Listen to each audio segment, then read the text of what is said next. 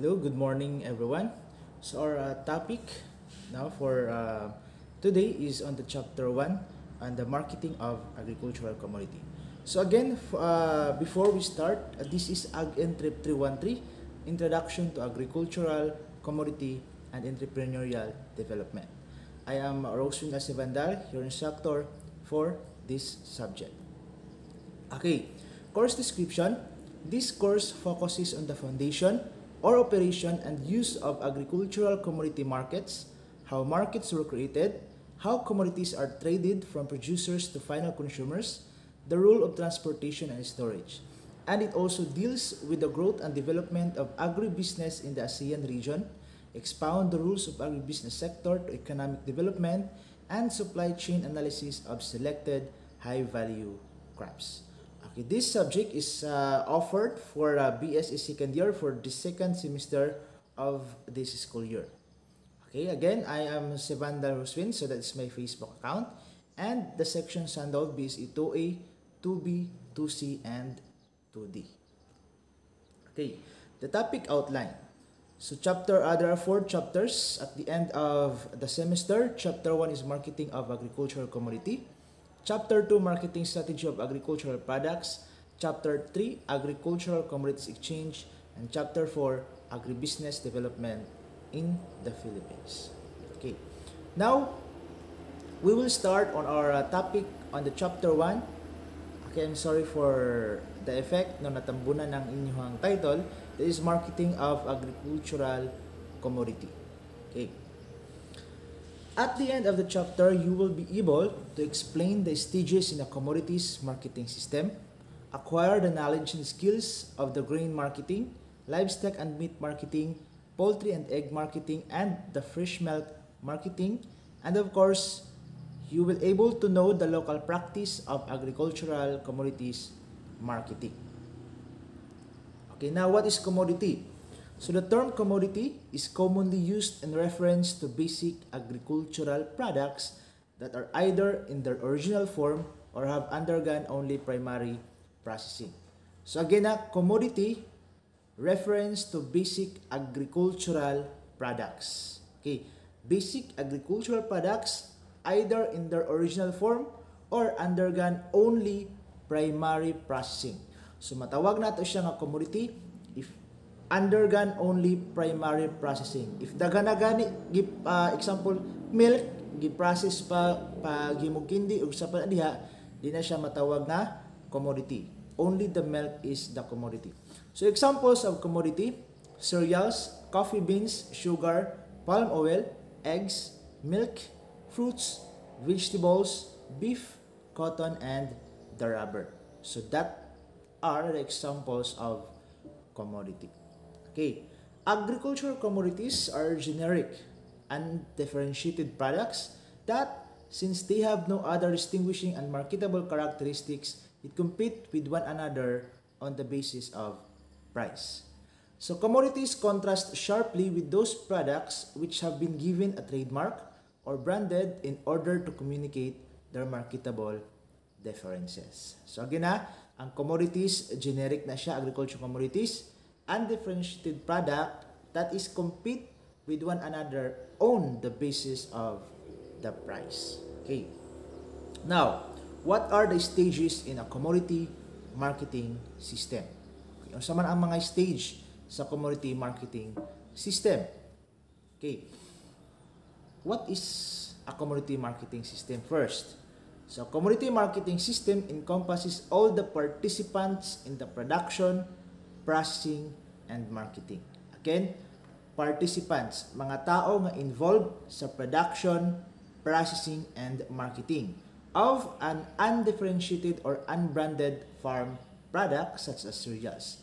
So it includes the farm input suppliers, our farmers, storage operators, processors, wholesalers, and retailers involved in the flow of the commodity from initial inputs to the final consumer.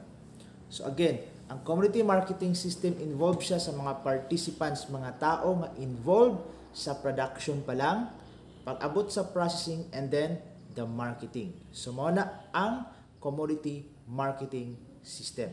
Okay. Another, it also includes all the institutions and arrangements. Second one. So first, kagaya na nung includes participants. Second, it includes all the institutions and arrangements that affect and coordinate the successive stages of a commodity flow, such as the government, trade associations, cooperatives, financial partners, transport groups, and educational organization that is related to the commodity. So mga institutions, part gyapon sa commodity marketing system. Now, the commodity system framework includes the major linkages that hold the system together such as transportation, contractual, coordination, vertical integration, joint ventures, tripartite marketing, and financial arrangement. Okay, mo na ang commodity system framework. Now, there are seven, okay, seven stages of agricultural marketing. So, stage one, of course, assembly stage. So, mo na, mag-assemble ta sa atong product. Assembly stage, example, commodity buyers specializing, specializing in specific agricultural products such commodities as grain, the cattle, the beef, the oil palm, the cotton, the poultry, and eggs, and the milk. So, mauna ang under sa ato ang assembly stage. So, mga commodity buyers kay nga involved to assemble the products, agricultural products. So, after assembly stage, okay, step by step process gid ni siya. After assembly stage, transportation. Okay, na-assemble nato ang product sa farm, so we transport the product. Example of this is the independent trackers, the tracking companies, railroads, airlines, and others transportation uh, facilities. Okay, so transportation stage. Sa pay magamit nato to transport our agricultural products. After transporting the product from the farm, okay, stage 3 ta, storage. Okay, gina-store nato ang atong product. So, ang mga involved ana ang grain elevators, the public refrigerated warehouses, controlled atmosphere warehouses, the heated warehouses, and the freezer warehouses. So, depende sa imuhang produkto. Kung asa niya mo store. Kung grains, uh, grain types ba na, i-refrigerate ba na nga product, ipainit pa ba na, or dito na sa controlled atmosphere nga mga warehouses nato i-butang. Okay, so i-store nato sa ang product. After storing the product, stage 4, grading and classification. We grade the product and we classify the product. Now, what is the difference between grading and specialization? So, matakol na to for the uh, later part of our discussion. So, grade na to ang product, i-classify na to ang product. Classify, pwede usan nga product, marketable ba ni? Not marketable. We grade that product uh, into small, medium, large, into def- uh, same sizes, uh, color, and any others. Uh, any other factors no nga mag-grade and ma-classify nato ang atong product. Okay, after grading and classification, stage 5 na ta, processing. Okay, processing ta. Involve ana the food and fiber processing plants such as flour mills, oil mills, rice mills, cotton mills, wool mills, and fruit and vegetable canning or freezing plant. So after the product, gikan na nato, gi-grade, gi-classify nato. So, we process the product. Process na ta sa product. No? Bisa, bisa kung sana, ah, depende sa product kung asa nimo i-process unsay angay nimo i-process. A. Processing. After processing stage 6 na ta, the packaging. Okay. Packaging na to um, involved or pwede ang atong packaging is the uh, mga tin cans na involved na ang mga makers no sa atong tin cans, the cardboard boxes, film bags, and bottles for food packaging or fiber products for um, uh, ini packaging no? Unsa pay ma uh, gamit nato depende sa product nga mabuhatan nato uh, unsa- or mabutang nato no? Asa nato mabutang ang product. So unsa nga packaging atong magamit. So after package the product, stage 7 na ta, distribution and retailing. Okay, so sa distribution and retailing, of course, na-package naman atong product, we distribute the product, gibaligyan nato atong product.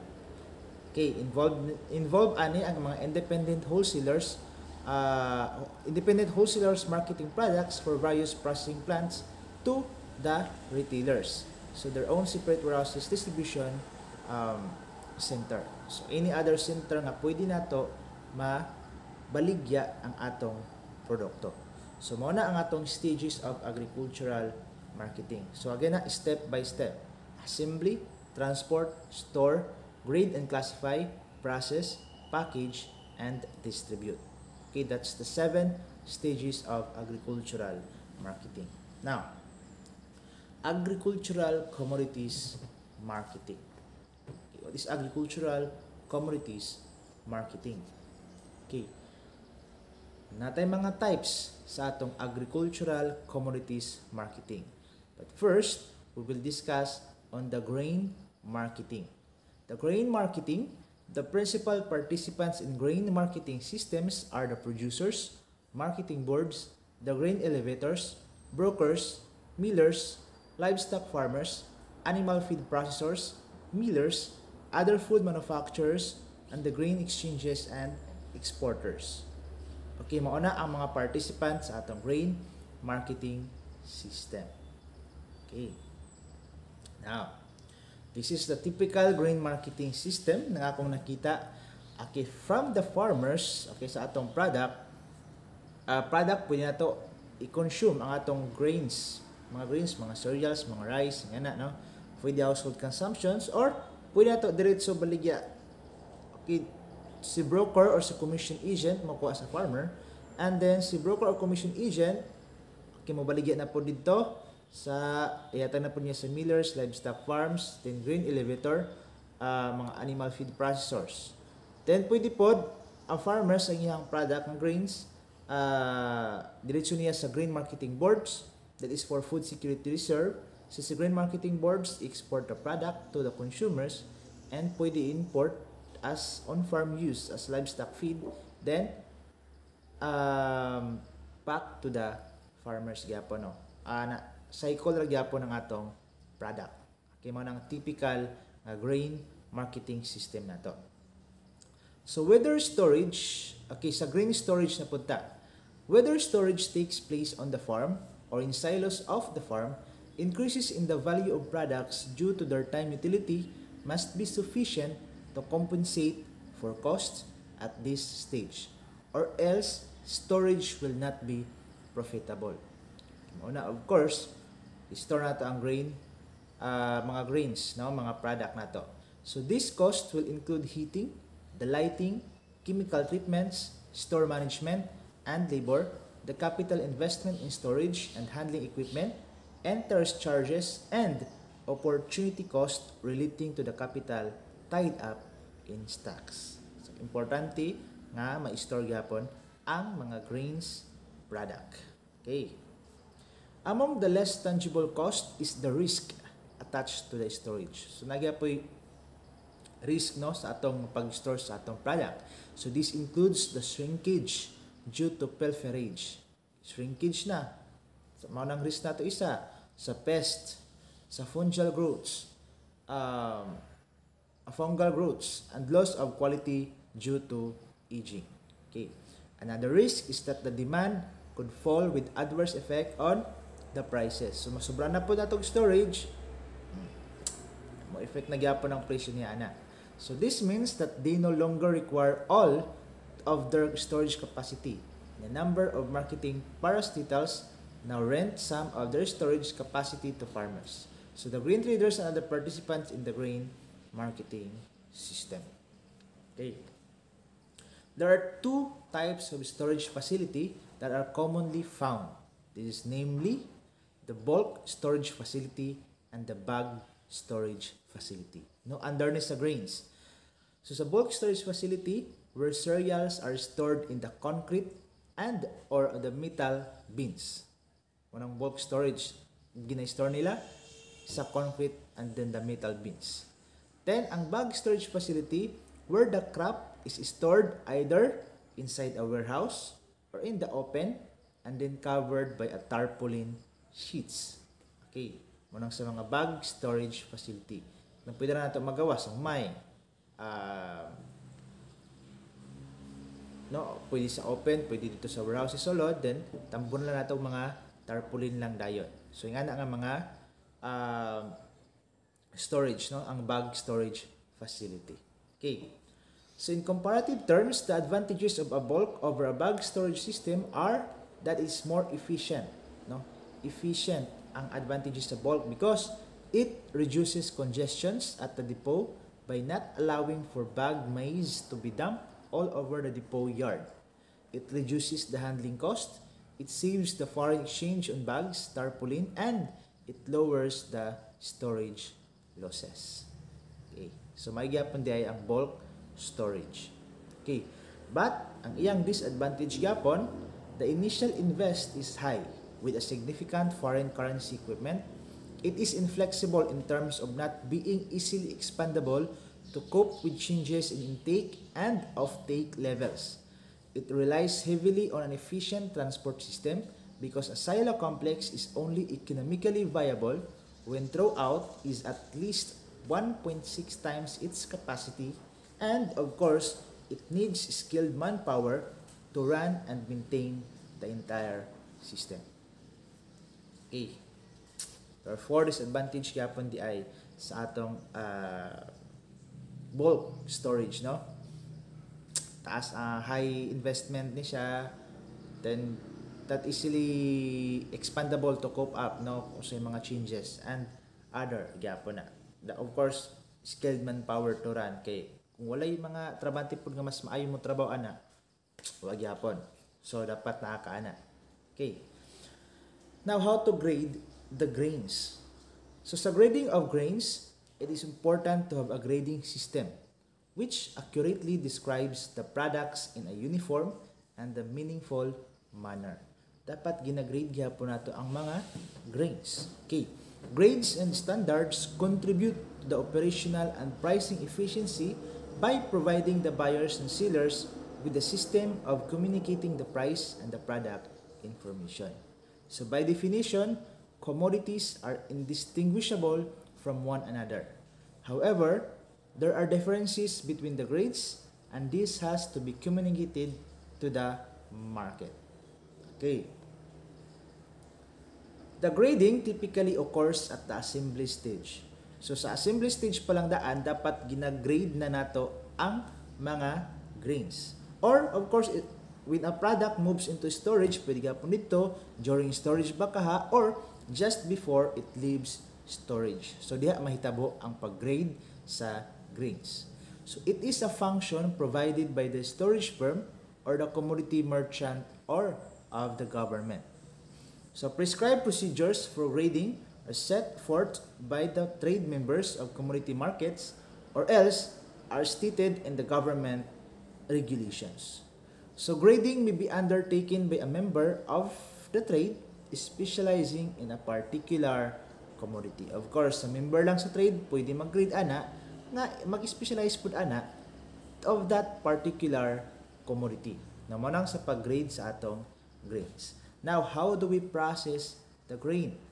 So grain processing is about the most important activity from the final consumer standpoint within the marketing chain of the crop.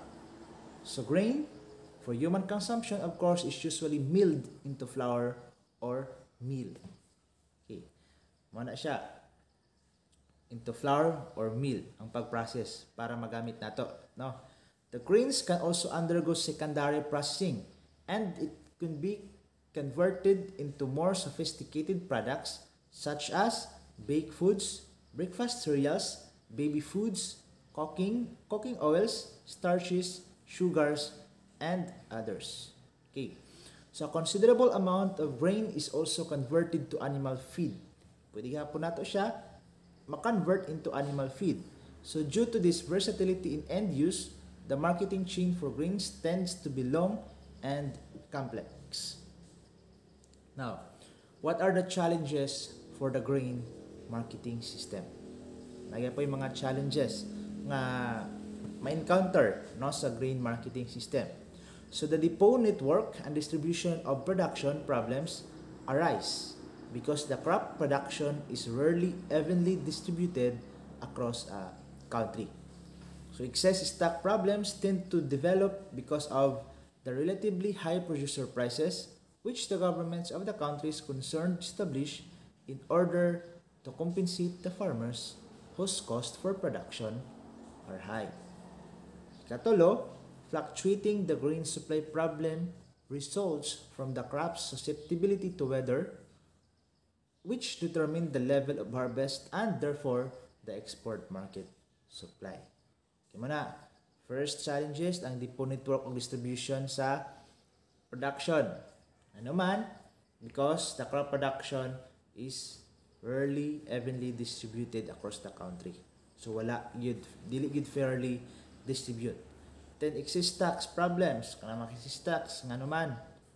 Uh, relatively high producer prices gyapon na siya which the government of the country is concerned to compensate farmers sa ma-store nato daghang kayo. Ikatulo of, course fluctuating the grain supply problem. Pag supply ano man tungod sa um, weather nato, weather condition nato. Dita kabalo pila ma-harvest uh, si pila makuha karon nato no sa ato pag-harvest. Okay. So mo to ang under sa atong grain marketing system. The second one is the livestock and meat marketing. Okay. So sa livestock and meat marketing, it is simpler because some of the production and marketing functions are combined and carried out by the fewer enterprises and some are not carried out at all. Okay. For instance, there is no formal animal feed sector at the production end and the slaughtering, cutting, and the boning is often done by the consumer. Hmm? Walay for mga animal feed sector at the production pa lang. Ba, and then the slaughtering, ang pag-ihaw, pag-cut, pag-debone, uh, ginabuhat sa consumer. In put another way, the production and marketing system is shorter and simpler because it offers the fewer services to both producers and consumers. Pagbaligya, of course, pagbaligya sa karne, si consumer na ang magkontantad, mag-usapan na diha, siya na tanan. Nagbaligya ra ka. So, eh, simple, simple na kayo ang buhaton pa. Okay. So, muna ang uh, typical gyapon nga atong chart. So from the farmers, si livestock brokers involved, si village-based livestock trader, then traveling livestock trader, okay na, ng local livestock trader into the marketplace, then local consumption, and of course, final is the consumer. Imo nang atong sa livestock and meat marketing. So to assemble the livestock and meat, it is depend upon the complexity of the particular marketing system cattle are assembled to serve one of the following purposes. For slaughter, for fattening, or for breeding herds. Okay. And these there are various types of livestock assemblers and assembling institu institutions. So ano sila mga institutions? The farmers, rural traders, local cooperatives, order buyers, commissioning agent, then auctions, terminal public markets, and the meat packers. Okay. The farmers, the level of farmer to farmer trade can be substantial where there is a degree of specialization within the livestock and meat marketing system. So for example, when some farmer concentrate on the, breeding or fattening, the amount of farmer to farmer trade can be very high. Taas siya. Sa rural traders, usually there are these are independent entrepreneurs as described in the reference to, to again sa Indonesia ta nga small marketing system uh, this may be established the business premises or simply travel around a defined geographical territory buying from farmers and selling onto fatteners auctions or buyers abat abattoir or terminal markets. Okay. Sa local cooperatives ta the functions largely as shipping agencies collecting small lots from producers and shipping them forward in economic size uh, batches to terminal markets. Okay, so some have diversified and offer a broader range of services and often merchandise their livestock direct to the packers and the other buyers. Ang mga order buyers purchase the fattened stock on behalf of okay, sa mga processors from farmers in return for a fee. Order buyers lang. Okay. Si commissioning agent do not take legal title to the livestock but obtain a commission when they make a sale. Okay, mo na nga itong mga commission agent. Wala sila title sa, wala sila legal title to livestock, but they have the commission to sale. Now, sa atong auctions, the public auction offer livestock or uh, deadweight meat for sale to the highest bidder. So, gina, gina-auction nila, ginabid. So, auctions are almost exclusively attended by the trade and not the general public. So, of course, in some countries, there may be various types of auctions operating. So, some auctions serve breeders and those wishing to procure animals for fattening. Other auctions are attended by the retail butchers, the meat packers, and the traders and others. Okay, manang sa auctions. Terminal public markets. Okay, manang sa mga terminal public markets na to, the large central markets which both the trade and the public may patronize. So the, the municipal authority or the private organizations providing the facilities of the market does not engage in trade, but the profits from charging fees for the use of these facilities. So farmers and others may trade on their own account in these markets or may appoint commissioning agents. So, meat packers na to, some packing plants are located near terminal, titrayapon or auction markets, and have their own cattle buyers. So, kato na example ani. So, these have combined the assembly and the processing functions. Okay. In grading our livestock and carcass, there are three dimensions. The first relates to the differing values attached to cuts of meat. Pagkat.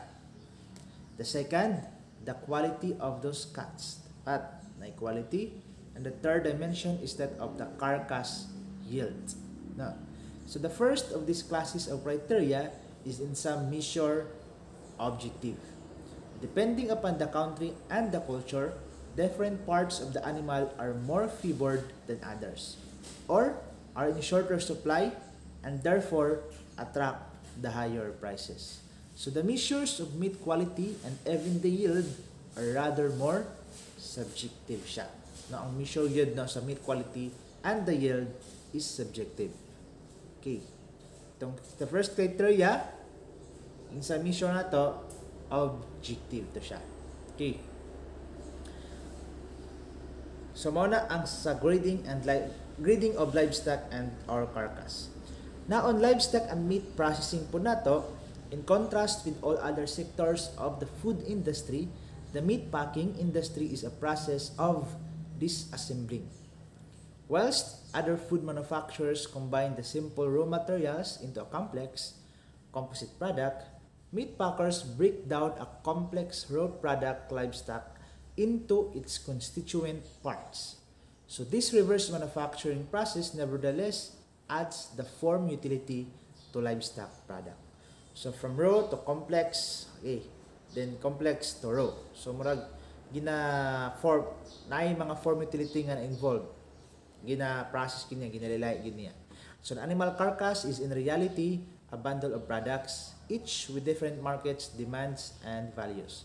So average somewhere between 55 to 62% of a beef animal's live weight is recovered as the meat products. So for pig's carcass, the figures are 70 to 75%, and the carcass yield other byproducts, of course, such as hides, the pelts, the lard, and the offal. In consumption of our livestock and meat, of, co- of course, meats are a versatile food representing a variety of the consumer's attributes. Meat can be purchased that is ready to eat, ready to cook, or in forms requiring substantial preparation. So most meat is sold fresh. In LDCs, But increasingly, such processed items as canned meats are becoming available and these are giving the consumer additional choice. So food processors can combine the meats with other foods to add the further to consumer choice. So how that is how we consume our livestock and meat. Okay. That's uh, second one, no? Nanata sa manata sa grain marketing system, then the livestock and meat marketing system. Now, we move on on the third marketing, the poultry and eggs marketing. So, of course, taganya pa makarelate kay dagan ng poultry dia og ah, nagbaligya sa mga itlog. Okay. So, poultry farmers have three distinct types of birds from which to select their flocks. So, marketing pa lang daan, kung ikaw farmers, poultry farmers, mili na ka kining tulo ka klase sa mga bird para ma-select nimo. First, ang mga hybrid nga broilers. These are the chickens which are first crosses and multiple crosses. These gain weight more quickly and lay more eggs than the pure breeds. Okay. Dali ra mo dako ang timbang anak nga ah, manok, of course dali ra pod mangitlog. So mo nang ginapili sa itong mga farmers. Ikaduha ang mga dual purpose birds. So this type of bird has the advantage of rarely exhibiting cannibalism, no cannibalism and is hardly against diseases. So magyapon ng ilang pilion. Third, the lightweight birds. And these are bred breed for egg production, mga lightweight nga birds. Okay.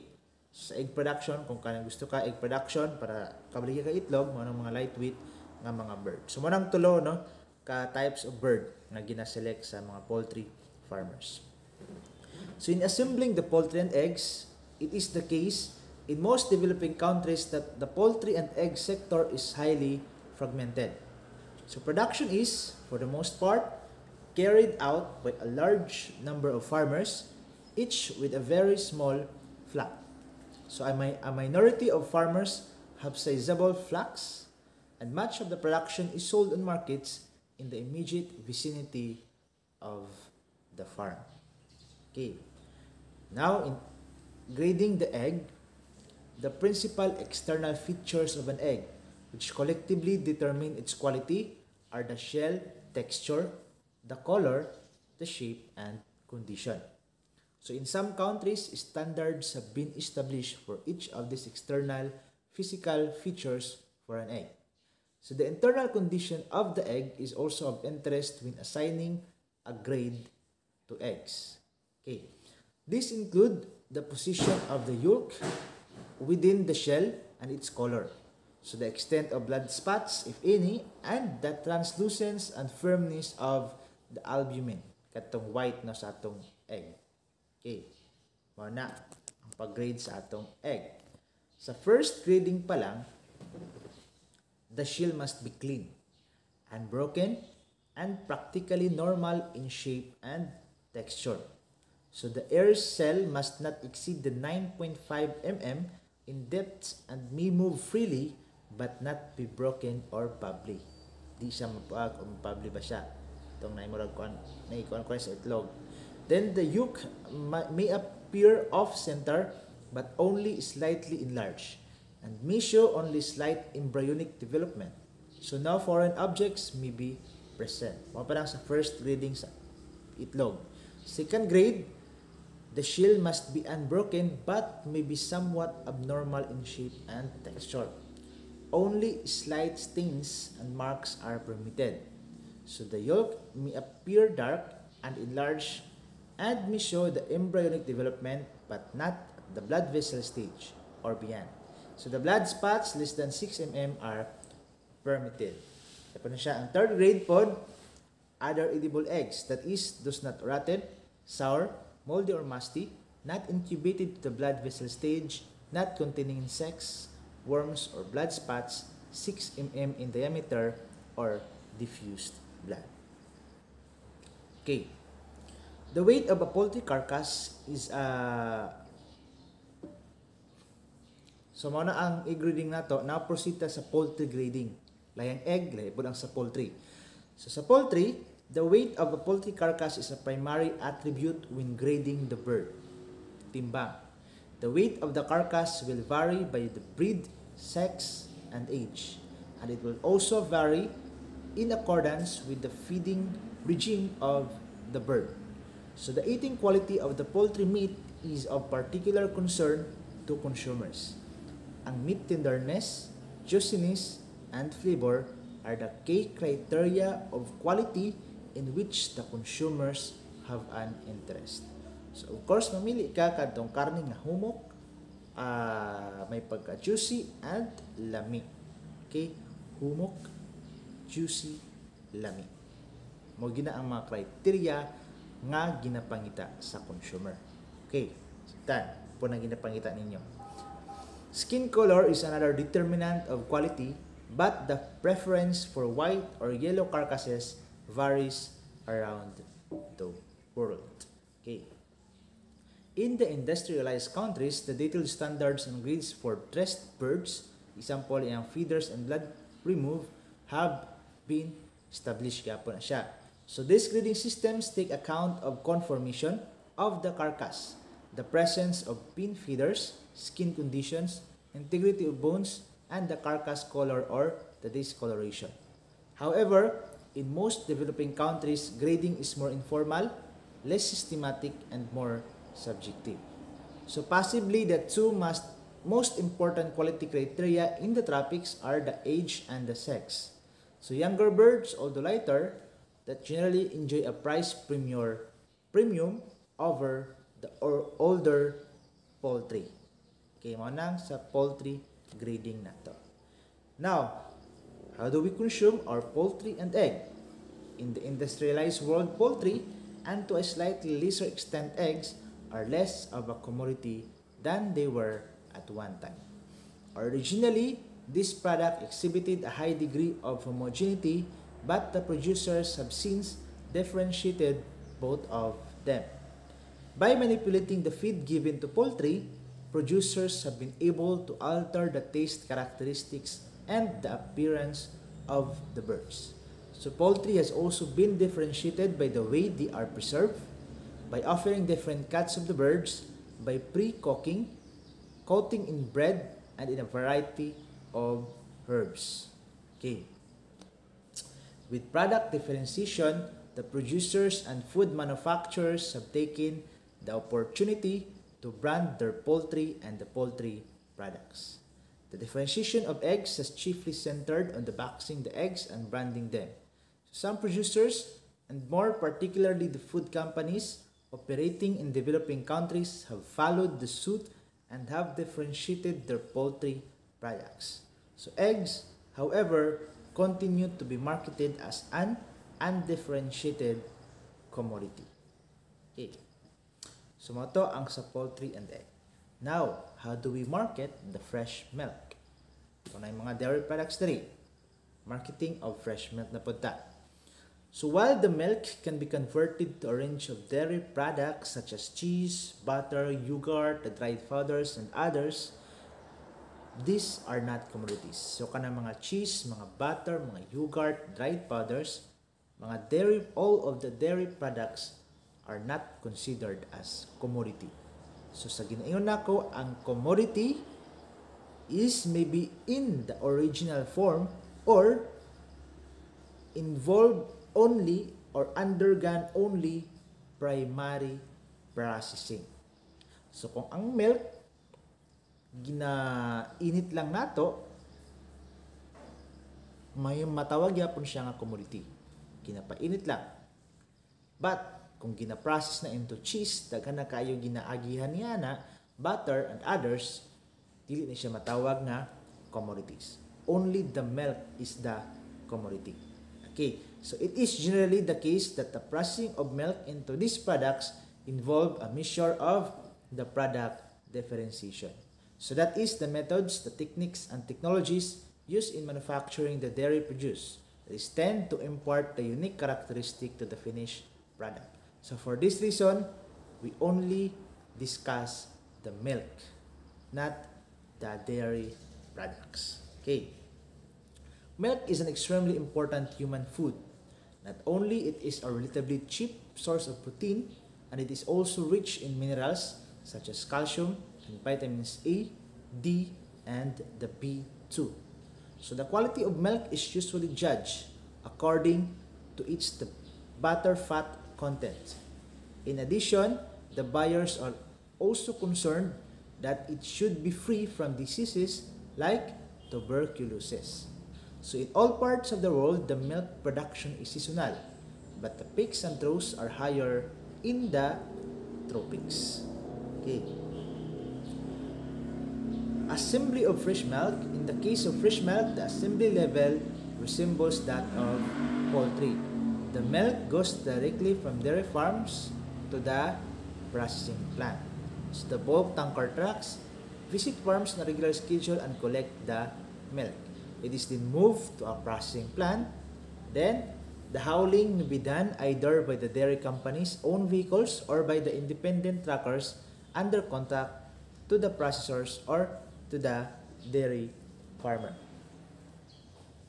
Now, in transportation of fresh milk, while the tankers which carry the chilled milk from the farm to the factory are becoming ever larger, the major remain constant remains of the inadequate road infrastructure.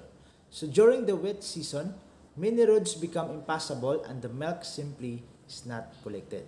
Whereas the trucks used to transport other agricultural commodities can be used to move a variety of different types of product. The milk tankers cannot. Okay. This affects the economics of milk transportation. So milk tankers, by contrast, travel empty in one direction and full on the return journey. So manang pagtransport sa atong fresh milk. Okay, sabtan. Now on the grading of fresh milk. So the fluid milk is usually separated into at least two grades. So for the purposes of this discussion, this, was, this will be referred as grades A and B. Okay. So sa grade A na to, it would be passed as fit for human consumption. Muna, pag grade sa atong fish milk, grade A, fit for human consumption. Grade B would be passed only for use in processed dairy products. So grade B milk is processed at much higher temperatures than the fluid milk passes through when being pasteurized and this is why it can be approved for human consumptions. So albeit if only in the form of the processed dairy products. So grade A nato, fit for human consumption. Grade B nato, that is fit, that is only used for processed dairy products. Na magamit nato kay mo cheese, mo butter, mo yogurt. Okay, mo na ang pag-grade sa atong fresh milk. So in general, the fluid milk attracts higher prices than milk destined for use in processed products. So in part, this is explained by the need to compensate the market participants for the additional cost and marketing a highly perishable product and moving and storing a very bulky commodity. So the second explanatory factor is that the fact that fluid milk has a lower elasticity of demand than though the processed product. Uh, these are the raw milk obtained from farmers no sa pag-grade nato sa atong fresh milk. So of course na atay mga test nga magian na atay ginatawag nga organoleptic test. Okay, organoleptic test this simply means that uh, the sense of smell is used to detect the sour odors and perhaps tasted too. So the visual inspection reveals the presence of the foreign matter. So diya ang organoleptic test. Naputay lactometer reading. So this test is conducted to detect any adulteration of the milk like the adding or skimming of the fat. So mo na sa lactometer reading test. Nakikitawag nato nga resazurin test. The bacterial count of the milk is measured giving an indication of the standards of the hygiene at the farm mo sa resazurin test. Ang butter fat, of course, ang fat content niya ana is the principal criteria used in deciding the level of payment to individual farmers. So raw milk is expected to have a fat content of at least 3.25. Tingnan na, 3.25 lang ang butter fat content. So sa processed milk at the factory gapon, ito raw milk to the farmers. Ang processed milk at the factory na ata ang level of acidity niya pag grade niya dapat not more than 0.15%. Ang butter fat content dapat not less than 2.25%. Sa iyang solids other than the fat, uh, dapat po not less than 8.5%. Ang total plate count, not more than 100,000 grams. The presence of coliforms, not more than 10 per grams. And the efficiency of pasteurization is the phosphatase test. Phosphatase test. Okay, muna ang pag-grade sa factory. Okay, the fresh milk consumptions in rural areas, many households either own a cow to provide milk for their own households and perhaps to make some informal sales to neighbors. Or they will purchase milk from a local farmer. And if there are localized cooling facilities and health and hygiene laws permit, untreated milk will be made available in local stores. Okay. So mao na ang sa fresh milk consumption nato. Again, the agricultural marketing commodities upat katay si green marketing, poultry and uh, egg, the livestock and meat, and then the fresh milk marketing. So mo nang four types of the agricultural uh, marketing, no? Commodity marketing. So, that's our reference in DL Internet Edu.it and the Hadera Alimayo April 2020, the Agricultural and Community Marketing Module by Mekel University. And, of course, that's the end of our chapter 1 and see you on our uh, chapter 2 um, topics, no? Ang chapter 2 topic na to. Okay? And of course, hope you will answer laboratory exercise number 1, the five questions, and the format was given, uploaded in the step. Okay? And that's all for today's uh, topic for the chapter 1. Thank you and see you for the next video.